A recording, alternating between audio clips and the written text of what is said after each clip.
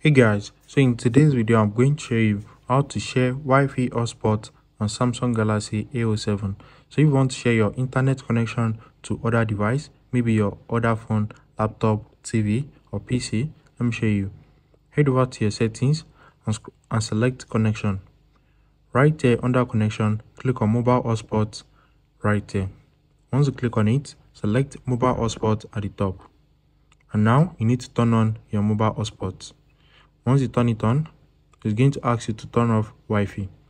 Once you turn it on, your hotspot will now be enabled. So make sure you have a SIM on your phone with active data connection. So now you're going to see your password right here. So by default, this is the default password. So you can click on it and you can edit the password. And now you can also change your network name.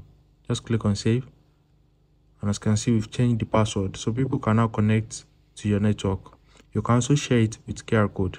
If you click on qr code anyone that scans this qr code can join your mobile hotspot they don't even need the password again with this qr code.